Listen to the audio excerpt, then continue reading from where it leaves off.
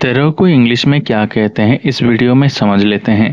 तेरह को इंग्लिश में कहते हैं thirteen T H I R T double E N thirteen आइए एग्ज़ाम्पल में समझ लेते हैं।